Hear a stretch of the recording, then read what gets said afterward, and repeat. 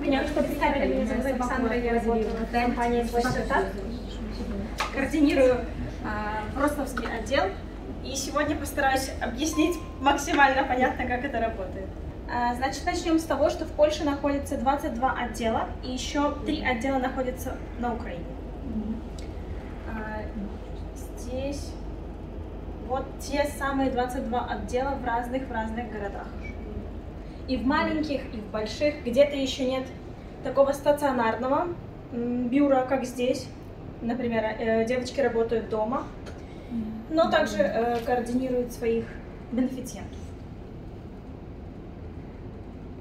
Итак, чем же мы занимаемся? Фонд предоставляет все юридические данные, то есть регистрационные, имя, данные офиса, номер НИП, номера РЭГО, ну это для тех, например, кто здесь находится, он как бы понимает, для чего, для чего эти данные. А, и также э, расскажу об услугах далее, которые предлагают стартап. Ну и благодаря этому физические лица могут вести свой бизнес, как если бы это был ваш собственный бизнес, но так, как будто вы работаете в стартапе и являетесь нашим сотрудником. Какие же услуги предоставляет бизнес-инкубатор? Как говорила, юридические данные. А, также есть возможность воспользоваться юридическими консультациями 2,5 часа в месяц касательно своей деятельности. У меня был э, случай, когда э, женщина захотела проконсультироваться по поводу развода. Значит, таких консультаций юристы давать не будут. Дальше, сопровождение отдела бухгалтеров. То есть ваша задача только работать. Все налоговые отчисления, все ужонды, всем этим занимается отдел бухгалтеров. Возможность получения веб-сайта. То есть вам бесплатно сделают страничку э, в интернете, свою страницу, на котором будут расписаны все ваши услуги. Э, также возможно получение к использованию, уже можно распечатать готовые листовки и визитки. Очень много бесплатных обучения в тренингах и мастер-классов э, только для наших бенефициентов. Э, люди, которые не, как бы не сотрудничают со стартапом, они за это платят. Но они также могут участвовать. Э, есть возможность использования кабинетов. То есть у нас есть такие кабинеты, э, их, наверное, 6-7 именно здесь, но в каждом офисе э, свое количество, которые вы можете использовать, например, психологи, например, учителя, они проходят, проводят здесь свои занятия. Кто-то, например, снимает какие-то видео, какие-то на YouTube, если, например, кто-то из, из бенефициентов такой деятельностью занимается, то это все можно делать здесь. Э, также можно приобрести пакет LuxMed Immunity Sport, и есть еще такой проект, э, например, у меня мужчина делает, выращивает келки. Такие маленькие растения, которые только-только из семянок выбиваются, они очень-очень полезные. И вот такой, э, такой проект был прорекламирован э, через наши соцсети. Ну, только таких вот, например, учителей не всех рекламируют, ну, потому что у нас их много, например, психологов тоже. Только что-то интересное нестандартное можно прорекламировать в социальных сетях. А, дальше. Есть индивидуальные консультации по обмену вакансиями. То есть есть еще что-то такое, как геодозлецень. Например, если я психолог, а кто-то учитель, например, там, не знаю, географии, и моему ребенку нужен а, учитель географии, то мы можем между собой как бы в стартапе сотрудничать. Вот. И также портал для преподавателей иностранных языков. Там очень-очень много разных языков, очень интересно. А, и этим всегда можно воспользоваться. Дальше. Виртуальный офис. Но это дополнительные услуги, если те услуги были только для бенефициентов, а вот эти э, услуги, которые как, э, наружные, завнешние. Э, значит, виртуальный офис. Сюда могут приходить ваши корреспонденции, например, если огромная фирма, и сюда, э, но нет своего, своего biura, то это можно использовать как, э, как виртуальный офис. Бухгалтерия как smart business. Это бухгалтерия для уже индивидуальных предпринимателей, тех, у кого есть уже свои spółki, spółka в разных, разных видах. Дальше. Обслуживание иностранцев. Также есть такой пакет помощь в легализации, то есть получение карты побыта временного вида на жительство. У кого-то, например, уже э, постоянный вид на жительство, в зависимости от документов, которых э, вы располагаете. Дальше, аренда конференц-залов. Например, вот сейчас, э, то есть ну, вот, завнанчная фирма воспользовалась арендой помещений. Дальше, запуск и продвижение социальных сетей. Также есть отдел, который занимается, то есть не только нашими социальными сетями, но еще, например, оно может продвигать ваши. Э, так, дальше. Обучение польского языка для иностранцев, также есть такая услуга. И платформа с репетиторами, у нас она называется Eduha. И сейчас постараюсь объяснить, в чем же все-таки э, прелесть быть, э, например, в, в стартапе, чем э, отличается от частного предпринимательства, это называется больше как э, спука или меч свою деятельность. Значит, сколько занимает времени, э, чтобы открыть фирму? Здесь это составляет, ну, вот, ну, 10 минут, ну, максимум, если, например, рассказать все какие-то э, еще моменты, но это 20 минут. То есть здесь только подпис... нужно подписать договор współpracy, договор сотрудничества, и вы уже как бы, у вас уже свой бизнес. Э, налог, значит, подоходный налог. Здесь он может быть либо 8,5%, либо 13,6%. Это зависит от того, насколько... То есть хотите ли вы передавать авторские права на свои дела фонду. Например, э, если я учитель польского, то я могу делать, а, писать статьи на тему, например, высылать свои дидактические материалы, которые я готовлю, например, к уроку. И если я хочу передать авторские права фонду, то тогда мой налог будет 13, 8,5. Э, а если я хочу, чтобы это осталось под моим именем, то это будет 13,6. То есть, ну, не, ну, очень редко кто-то говорит, что, о нет, пускай лучше будет написано мое имя, и я заплачу больше налог. Нет, э, ну, как бы в большинстве своем всегда говорят, что без проблем, передам на это, на, только на эту статью вы передаете авторские права, и все, и налог тогда 8,5. В то время как э, при предпринимательской деятельности он может 17% либо 19% составить. Э, ЗУС. Вы также, например, э, по умове о ДИО вы вот это вот, вот это вот, все, что, о чем я говорю, это умова УТИО. Вы не обязаны платить складки ЗУС. То есть страховка государственная, вы не обязаны ее иметь, например, как э, в отличие от своей предпринимательской деятельности, или, например, тех, кто работает на умове о на умове залицения. То есть вот это обязывает вас платить государственную страховку. Если, например, у меня есть э, частная страховка люксмет, то мне государственная не нужна. Дальше.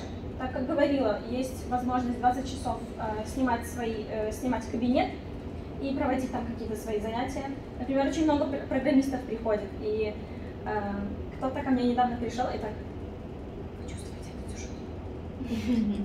Вот, э, ну, то есть э, в разные бывают обстоятельства дома, вы чувствуете эту тишину, вы чувствуете? Я, например, когда захожу э, попросить, чтобы, ну, как бы пришел новый человек, и чтобы не, не накладывалось, например, без опозданий, я захожу, человек может сидеть вот так, он ничего не делает, он просто сидит и слушает, вот ловит дзен человек, у него все прекрасно. Дальше, то есть за услуги кщенгове, это услуги бухгалтера, вы за них тоже ничего не платите, потому что это входит в ваш пакет, который составляет 300 злотых. Дальше, а, юристы, это тоже все туда, маркетинг, вот, как написано, э, страница в, интернет, в интернете, э, визитки, это все входит в 300 злотых. Но если вам нужен, э, нужна здесь легализация вашего побыта здесь, то месячная оплата будет составлять 350 злотых. Потому что здесь уже будет задействован отдел легализации, который связывается с ужондом, запрашивает освещение, дозволение. Расскажу об этом дальше. Э, поэтому в, том случае будет это 350 злотых в месяц. Теперь про э, иностранцев. Значит, э, что в свою очередь мы можем сделать людям, которые приезжают, например, которые имели в своих странах бизнесы и не знают, как их перевести сюда. Значит, э, во-первых, чтобы пересечь границу, нам нужна виза. А эту визу, чтобы открыть, нужно приглашение на работу. Есть э, такое понятие, как освящение, оно делается на полгода, а есть э, зазволение, оно делается на год. Разница между ними только в, в окрасе, которым, на который вы получите этот документ, и это зависит еще от того, сколько его, например, ждать. Освещение ждется 2-3 недели, а зазволение 3-4 месяца. Но в то время как бы как делаю я? Когда только попадает ко мне новый бенефициент, я делаю сразу и освещение, и зазволение, потому что оно между собой там остается месяц. И нет такого простоя, что, например, человек не может работать. Дальше. Помощь в съеме квартир, комнат. А сколько это стоит? Что именно? Ну вот, и освещение, и зазволение. Освещение стоит 30 злотых, а зазволение 100. Ну, это господи. Да, это в ужон, это вы платите. То есть это уже не стартапу, а это уже платится в ужон. Например, как точно так же мы заполняем внесок, когда подаем себе карту быта, он тоже стоит для студентов 330 злотых, а для э, не студентов 440. Да. Э, дальше помощь. А для бенефициентов? Точно так же 30. Э, а, э, вы имеете в виду внесок? Точно так же. То есть это ужин не дает скидок. Есть он, он как будто... Да, а заполнение и помощь. свое. И помощь. Отдельно услуга. Да, сейчас дойду до этого. А, Значит, помощь в регистрации автомобиля, а, получение, э, буквально, наверное, два или три месяца назад появился а, отдел, который занимается вот именно такими вопросами на бежонцу, как говорится, вот сразу же. Вот, например, я приехала, вообще не знаю, куда мне идти. Я стою на вокзале, пожалуйста, примите меня где-нибудь. А, Дальше. И вот, значит, предоставление пакета документов для подачи на вид на жительство. То есть за это платить не нужно. Это э, пакет документов, который нужен от работодателя, когда мы подаемся на карту. Это заломчник номер один и договор на три года. И вот с этим пакетом заполняете э, внески, добавляете туда скан своих паспортов, дальше фотографии, и с этим вот пакетом документов подаетесь на вид на жительство. А также есть такая услуга, как полное сопровождение а, до получения вида на жительство. Во Вроцлаве а, известно, что а, вид на жительство получить очень сложно, потому что очень много иностранцев. Если взять, например, какой-то даже Гданьск, Познань, даже в Варшаве быстрее получают а, документы, чем во Вроцлаве. А, то такой и, то есть, например, я подавалась, я подавалась с юристом. А, И я платила, пла- точно, ну, там, наверное, я платила, может быть, 2, 2 300 или 2 500, но чтобы они вели от начала до конца.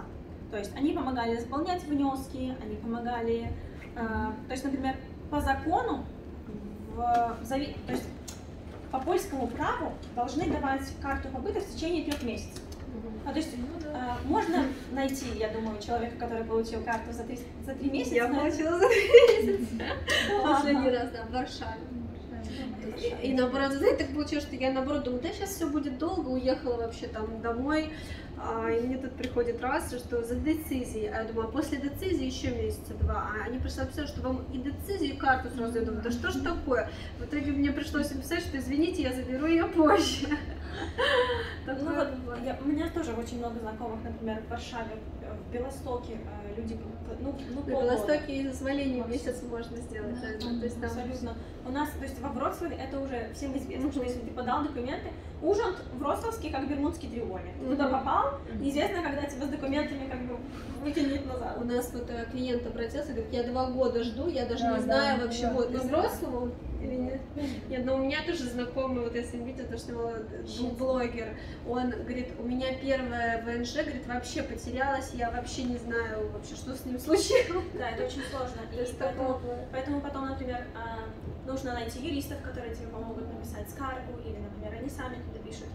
А, И вот этим всем будет заниматься жалобы, вызовы в суд, а, штрафы, все будет налаживать отдел легализации, если вы, например, захотите приобрести этот пакет за 2200. Ну и вообще, с чего, вот, вот приехала я, хорошо, легализовали меня. Дальше что? Что я, вот у меня, например, я была программистом, например, я из Беларуси. Э, Была программистом в Беларуси, что мне нужно сделать вообще, чтобы, чтобы как-то, чтобы здесь зарабатывать? Значит, что вам нужно сделать? Прийти, например, сюда, если Вроцлав, если не Вроцлав, Варшава, другие города, то на сайте можно найти адреса, написать на почту, например, во Вроцлаве можно писать мне, можно писать, например, моему менеджеру. А, Все, все наши а, мейлы есть на страницах. Не- Ну, то есть там вы выбираете, например, кому-то по внешности кто-то выбирает. Мальчики, я знаю, выбирают по внешности. О, ой, ты, например, там, я люблю блондинок. Девочки тоже. Там, выбирает уже блондинку. И у вас менеджера только девочки или мальчики тоже? есть? Мальчики тоже есть. Но мальчики пользуются больше спросом. Потому что в большинстве своем обращаются как бы девочки, поэтому они так больше к мальчикам.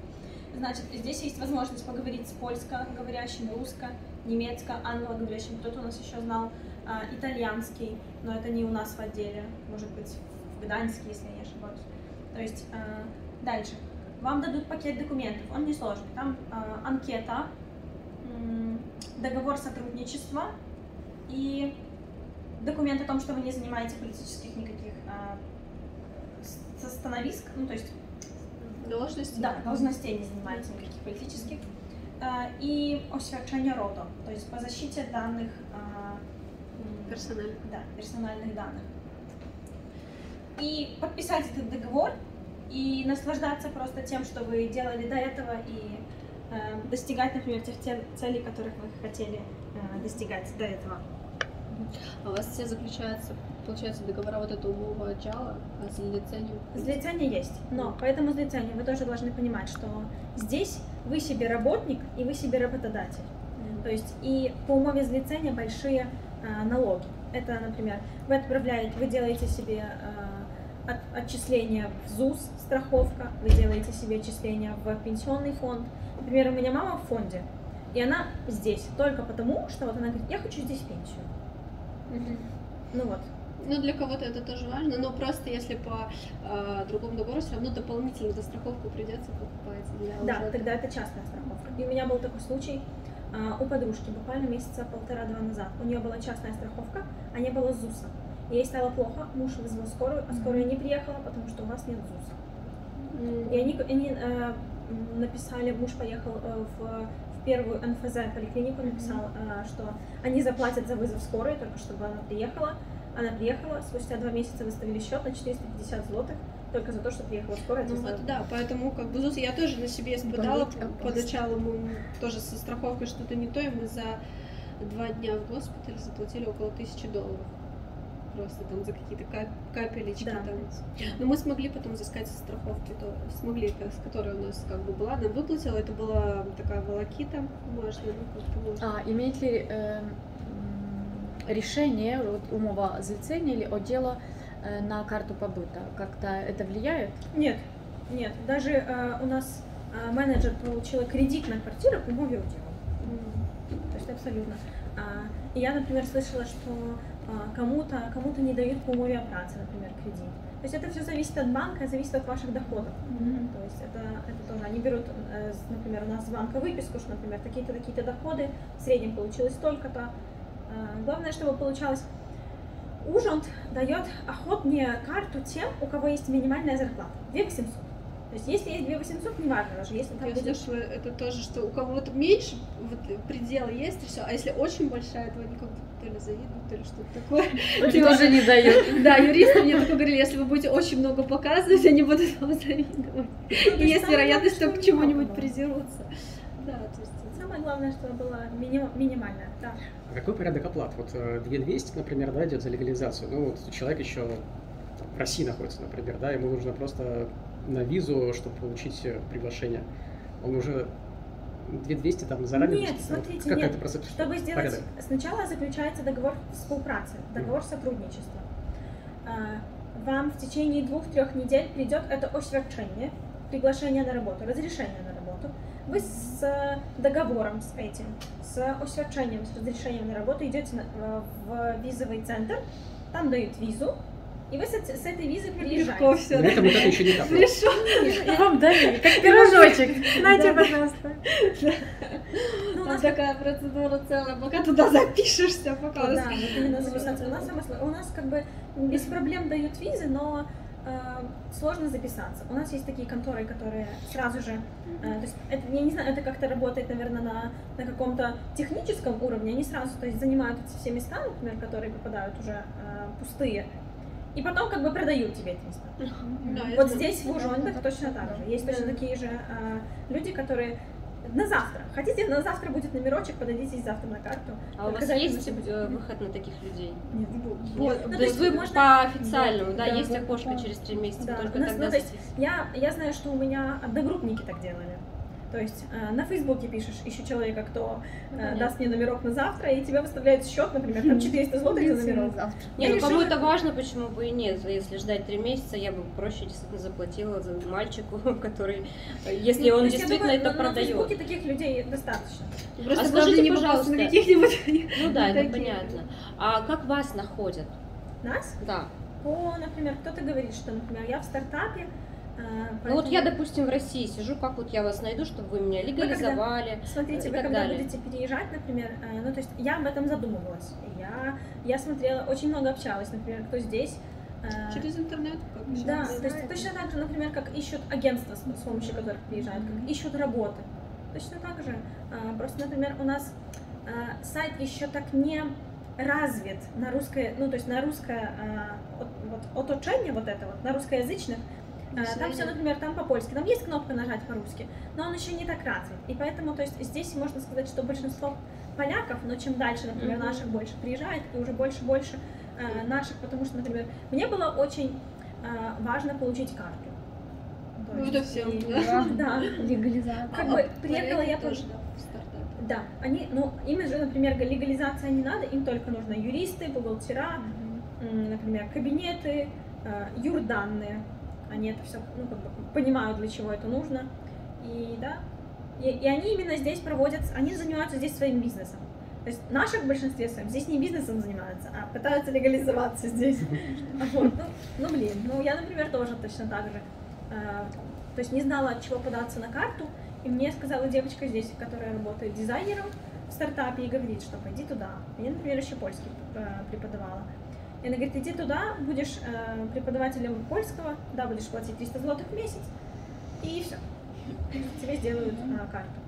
Вот. Но так как у меня был доступ к рынку труда, я закончила э, магистратуру здесь, в Польше, то мне не нужен был, не нужно было ни освещения, ни зазволения, ничего. Вот даже тоже вопрос. э, Вот идет пакет 2200, там же есть у кого-то уже аренда жилья, кто-то там уже э, решил То часть вопросов, там какие В эти две- в опции? 2200 входит именно все, что связано с.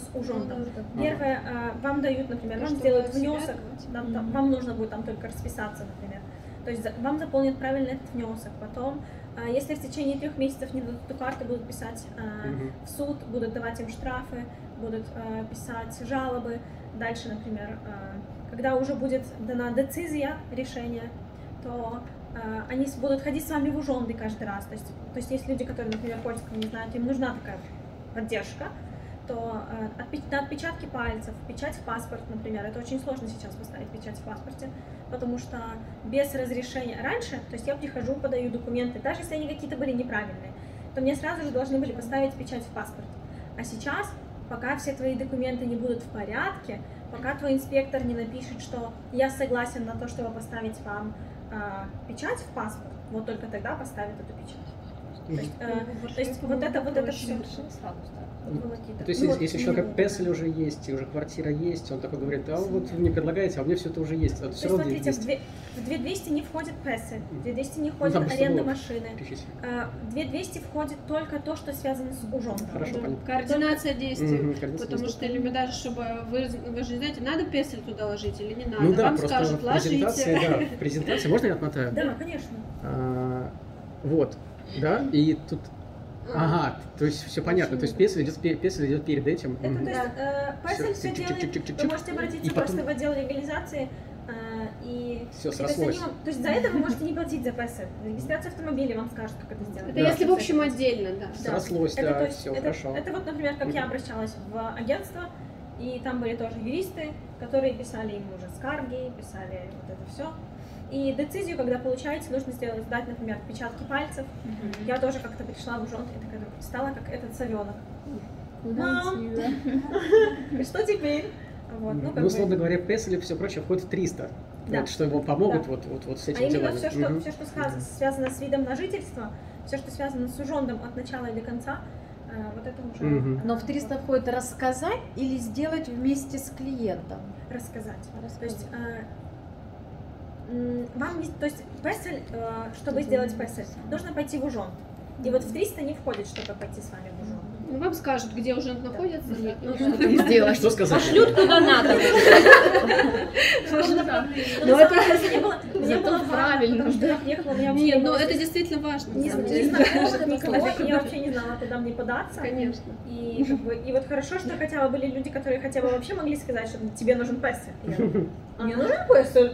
Что это такое? Это, например, и э, песель, да, понятно, что это э, как паспорт, он дается один на всю жизнь. И я так, о, интересненько. Хорошо, Мне дальше. нужно, да. То есть, да. Поэтому так. Ну и, наверное, наверное, на этом все. Все, что было основное, я э, рассказала. Ну да, Мгм. на этом было все. Да, спасибо. Если какие-то еще вопросы остались, а, то задавайте. Я всегда своим ребятам, которые приходят, говорю, что нет таких вопросов. Ой, наверное, я уже много очень спрашивала, наверное, уже неудобно спрашивать. я уж не буду». А. Есть по- по деятельностям, да, то есть вы берете в основном это вот, э, ну как вы сказали, преподавателей, IT, или все-таки физический бизнес, кто люди, если хотят вести деятельность, ну вот у нас, например, девушка там открывает салон на свадебных платьев, магазин Да. продуктовый, грузоперевозки. Да, сюда не подойдут, например, торговля подержанными вещами, запчасти, которые я хотела продавать, уже, ну, то есть бэушные. Нет, это не подойдет. Новые, да. А, э, подержанные вещи, секонды тоже мы не открываем, потому что очень много нужно сертификатов, от чего, куда. Разрешение. Еще, да, очень много разрешений нужно. А, Еще не открываем все, что связано с едой. То есть кто-то хотел фургончик возле, возле техникума какого-то поставить. Поверьте, это не- кофейни какие-то. то есть нет, э, очень, это очень много волокиты и вам, то есть и нам, например, ваша задача состоит только, вот как только вы подписали договор, ваша задача состоит только в том, чтобы э, зарабатывать как можно больше. То есть стартапу ничего от того, например, будет у вас зарплата 5000 или 50, не идет. То есть ваша, ваша оплата всегда будет вне зависимости, это не процентная ставка. А, то есть она всегда будет такая же. И, например, в моих интересах я всегда, не, ну, то есть никогда не говорю, если вот вы будете зарабатывать тысячу, то тогда у вас доход будет вот такой, например, минус 8,5%. Я всегда говорю, если вы будете зарабатывать 10 тысяч, то вот доход будет вот такой. А, то есть, ну, все равно это все равно это как-то поднимает и тебя, ну, такой, ну, тысячу заработаю, не хватит, не хватит, тысячу не хватит, 10 тысяч минимум. А Скажите, если какая-то деятельность лицензированная, да, то есть помогаете ли вы получ- э, как-то, ну, в получении лицензии, или это, получается, сам э, инкубатор должен есть с получить? лицензиями алкоголь, э, сигареты, вот это все тоже. А иммиграционный консалтинг? Что вы под- Ну, подразумеваете? вот под- наша деятельность, условно. Не, но наша деятельность это как раз-таки это подходит, То это больше вот как то под OIT, онлайн такое.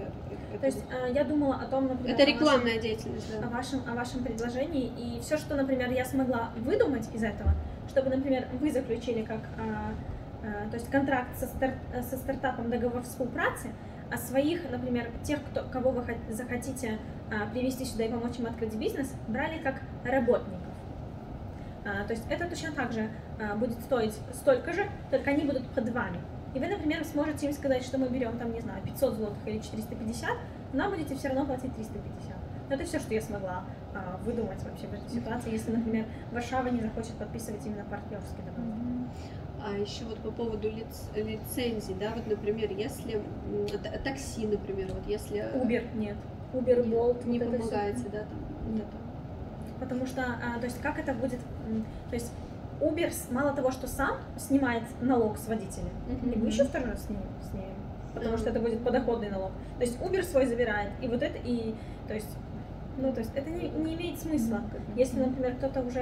А а, кто-то хочет стать, например, не просто работать в Uber, а как, ну как вот э, открыть, э, стать партнером вот этого. Uber. То есть это э, мы же не, мы не работаем, вот, например, если кто-то приходит, я, например, косметолог, и мне нужно сделать там, не знаю, ногти. И то есть всему должно быть чек, либо, например, перевод денег на внутренний счет стартапа. Вот у каждого бенефициента есть здесь свой внутренний счет, и туда поступают деньги в течение, например, месяца, и потом за вычетом налогов перечисляется вот уже на личный счет. То есть должен быть подтверждение оплаты какой-то, либо договор между вами. Ну какой вот, например, сажусь я в такси, ну какой там договор, какой чек? Да, не буду. Не, ну, например, если... Хорошо, а, Да. Если, например, люди вот они хотят открыть, то есть они сами, они хотят сдавать в аренду автомобили, то есть это, сами подключиться к этому Uber, да, потому что если Uber, он же раньше подключал обычных, да, то есть физлицо могло подключиться, а сейчас нет такой возможности, сейчас может подключиться только компания, став партнеров, и эта компания берет уже этих а, всех, да, и вот, например, вот они хотят компанию по подключению к, к Uber. Знаете что, а, вот я не знала, что нельзя э, с физическими лицами работать в Uber. У меня много знакомых работало. Они А, через, потому что Да, они не партнёра. напрямую, Да. они через партнера. Да, да, да, да. И я лучше уточню это у юристов с этой, например, с этой стороны. Э, Сейчас, если что-то изменилось, то я думаю, они как бы, ну, они на Мгм. бежонце все это все это знают. И лучше спросить. А, да, почему, почему это вообще интересно очень многим в Uber, почему? Потому что они работают, и вот им, вот эти партнеры, они им не предоставляют легализацию. Абсолютно. Они, то есть, у меня много И люди хотят работать, их все устраивает, но легализовываться-то им как? Да, и то есть, соответственно, либо открывать да, свою спулку, либо, может быть, ну, А, у меня люди даже работали в Uber без договоров вообще. Мгм. То есть им с каких-то левых счетов каждый раз а, были какие-то другие, другие счета. То есть я видела объявление, что мы купим счета, то есть а с этих счетов потом это все было в обороте. Ну, то есть это все, конечно, не продавайте никому свои счета. Ну, ну, это логично, да, такой купил там что-то, чей-то счет, это как бы, ну, это да, просто мы очень часто слышим, да, от клиентов, что вот я сейчас в Убе, вот нам столько уже рассказывали, такая хорошая компания, они нам сейчас все документы сделают, вот сто процентов, да, и потом, ой, что-то пошло не так. Очень, очень редко, а, то есть если еще партнер а, поляк, то он еще какой-то хотя бы какой-то минимальный договор предоставит. А если у нас с нашими... то- Несколько часов в день как будто он работает, или в неделю. Да. Хорошо, да, А, спасибо. можно еще вопрос? Да. А если не от обратного, ну, в смысле, кому нельзя, Мгм. все перечислили, а наоборот, как можно больше примеров, э, кто, ну, кто, кто пользуется услугами. Ну, понятно, айтишники, вот, ну и а, А, еще. Айтишники, дизайнеры, Дизайнеры. а, кто рисует, то есть кто может предоставить какое-то дело, например, э, вот с этой стороны, там, например, айтишники пишут, пишут свои кода, высылают, а, учителя, э, на умове злицения могут быть строители, Строитель? да. О, ничего себе. Да, ну то есть это обычные умовы отдела, могут быть перепродажи, например, продавец, косметолог. ну, то есть Перепродажа, строительство. А строительство это от лицения или от дела? С лицензией. Ну, то есть что мы, что мы как дело приложим? Что? Дом построенный? Ремонт. Ну, то есть, а, это, ну, то есть это, не, это сделано как будто не физически. Вот, например, тот, кто написал что-то, или тот, кто... Видео, например, танцоры, актеры, это все идет на умову делу. То есть у них есть а, видеозаписи, как они, например, это делают. А, ну вот, музыканты, например, Блогеры, песни, которые... Блогеры, это да, это, это все пойдет на умове о делу. А скажите, а как вы себя страхуете, если, например, э, ну, участник бизнес-инкубатора ведет деятельность, ну и попадает в какие-то ну, неприятную ситуацию, да, вот если строительство не может выполнить, там, достроить объект или еще что-то. Это все юристы делают, я к этому Мгм. никакого отношения не имею. Но я знаю, что, например, если э, контрагент не заплатил за услугу, например, да, кому-то, то это тоже юристы пишут э, повестки в суд, ой, извините, Э, и тогда да. Ну, то есть это все уже делается со стороны юристов. Ну, то есть я, я только пишу, например, упс, у нас такая ситуация, проблем сос. Да, и все, и они уже, они со своей стороны все уже. Окей. Ну, хорошо, спасибо большое, спасибо. Точно все, больше никого. Да. Я хотела еще сказать о том, что у нас есть клиенты, которые воспользовались услугой «Твой стартап». Сейчас мы занимаемся визовой поддержкой их. Они в Краснодаре неделю назад подали документы, и мы ждем, конечно, положительного результата.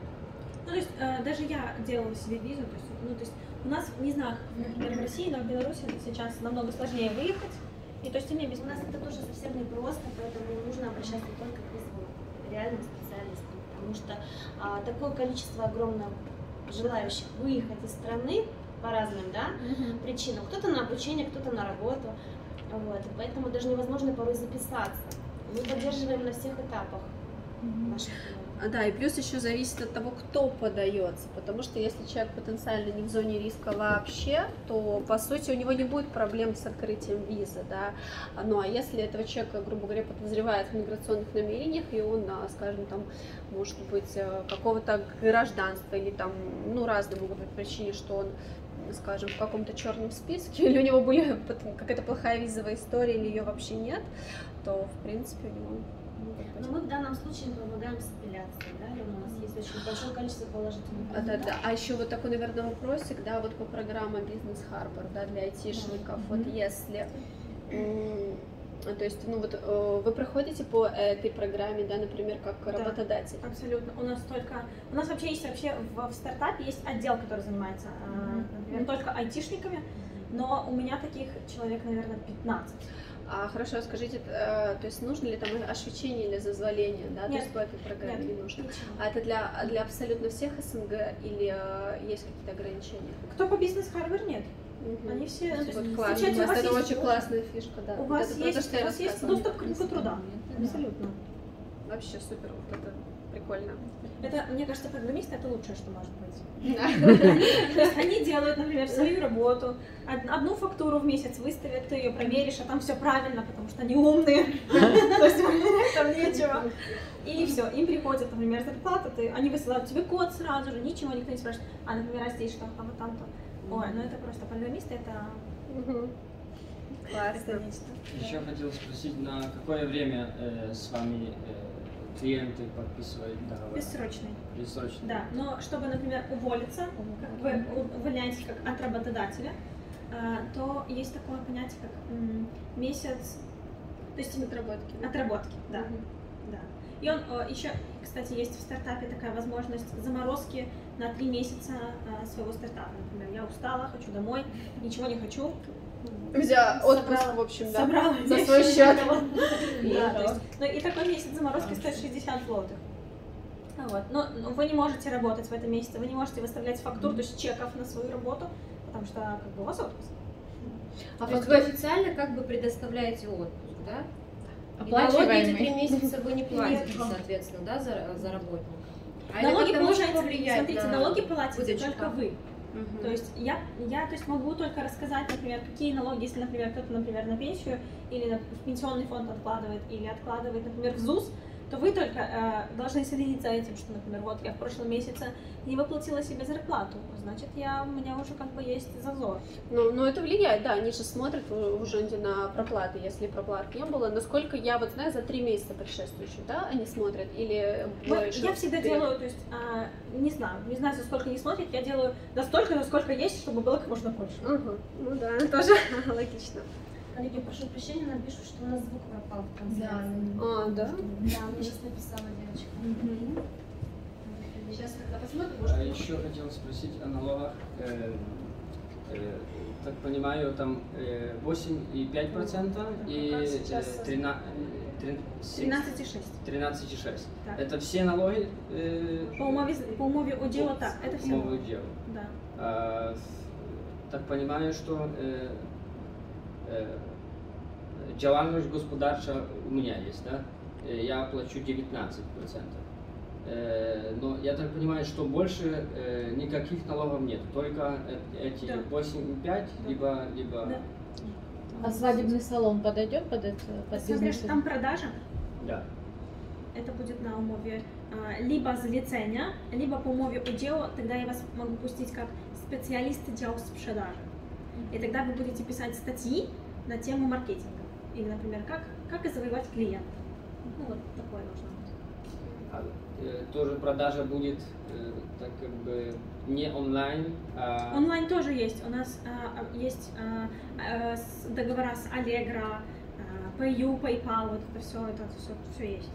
Шелев 24, как это еще называется. Это все, это все заключается договор на Allegro, например. Э, У нас есть уже заключен этот договор, вы делаете только свое, а, свой счет, в смысле, как это, аккаунт на Allegro, и туда вводите, например, счет внутренний. Вот. И все деньги уже приходят сюда. У нас очень много людей а, и на Allegro. продаж локальные тоже. И тоже да, все туда. Але чека не можешь выставлять. У вас, если, если у вас э, кто-то вам дает наличку, Ну, потому у что вас будет кассовый когда аппарат. прода- продажа локальная, тогда э, кассовый аппарат нужен. да, нужен Да. кассовый аппарат. Да. Абсолютно. За каждую услугу, за каждое вообще за все, что вы делаете, должно быть либо выставлена фактура, Да. а фактура это, например, если перевод был на счет, то это выставляется фактура, а если наличкой дали, то тогда кассовый аппарат и чек обязательно. Э, э, Ты можешь выбрать, э, э, хочешь ты быть э, вато, ватовце чи, или, Смотрите, или нет, выбрать нет. Сейчас про ват расскажу. Ват в Польше составляет 23%. И ват, например, если я учитель, там, не знаю, польского, то я выставляю фактуру на 100 злотых нетто. Система автоматически причисляет 23% налога и выводит по, э, квоту 123.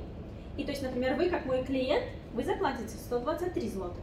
У меня был такой случай, женщина-косметолог, и м, она по кассе только работает, ей никто не причисляет. И она вот, у нее, э, у нас есть рапорт, э, который в конце месяца делает, сколько было э, наличкой заработано, сколько было вата там и сколько квота нет. И она свой ват, она говорит, а я у мужа брала, платила ват. То есть ват не вы должны платить, ват платят ваши клиенты. То есть это его проблема, что, например, мы находимся в Польше.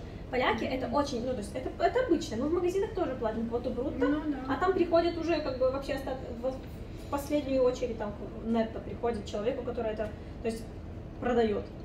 Это, это, то есть нет такого, что э, вы со своего кармана должны платить. Это когда мы говорим, я по, бл- ой, извините, я по блату тебе сделаю, например, за 100 злотых. А, да, только тогда ват ты заплатишь со своего кармана. То есть это тоже надо понимать. Мгм. Вот, поэтому... Да, да. И ват зависит от того, например, если а, ваш клиент поляк, то тогда да. А, ват 23%. Ему с легкостью ват можно, да? Он ничего а не если, скажет, а если если не поляк. э, клиент не является гражданином Польши, тогда ват ноль.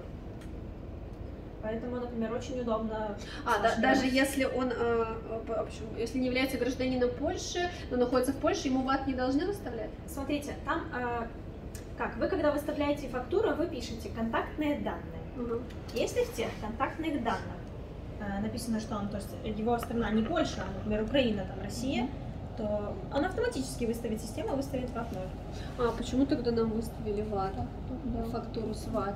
Вот, например, э, я от э, этого самого, от фирмы, которая зарегистрирована в России, заключила договор там на аренду офиса, и они мне почему А интересно вам, выс- а вам выставляли фактуру на фирму или на на человека? фирму? То есть должны были не платить, да? Я, ну, как бы, я считаю, что да. Ага, ну надо будет уточнить. Спасибо, да. какая информация классная, да. Спасибо. И они все, все время же везде выставляют. Если, если, например, это, этот ват только польский налог. Ага. То есть, э, если вы продаете услуги, то э, такой, такая ставка называется не подлега. То есть, потому что не резидент, ну, то есть это не резидент Польши. Окей, хорошо, спасибо. Вот напишем вам спросим. Мгм. Ну, я, я помню, да, тоже, что нас предупреждали партнеры из других стран, тоже есть такие, что мы, ну, не, не облагается налогом. Вот, например, айтишники, которые работают, например, с Америкой, то у них не подлега. Мгм. Хорошо, спасибо большое. Вот. Александр, спасибо вам большое за детальную спасибо. информацию.